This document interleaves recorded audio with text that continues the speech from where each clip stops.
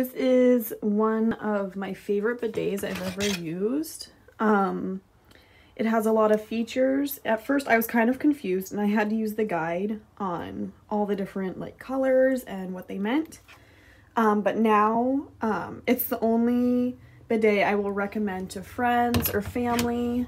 Um, I love that both the lid and the seat are automatic and that um, there's a sensor so I never have to touch the toilet again because honestly it's disgusting. So having that option is life-changing for me.